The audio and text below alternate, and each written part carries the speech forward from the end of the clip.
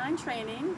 We came from Max and Louie to be more disciplined, to have better manners, and we've gone through our run through, and I think we're good. We're just going to have to stay disciplined. But um, I love what I see. I think the dogs listen now, and I'm very happy.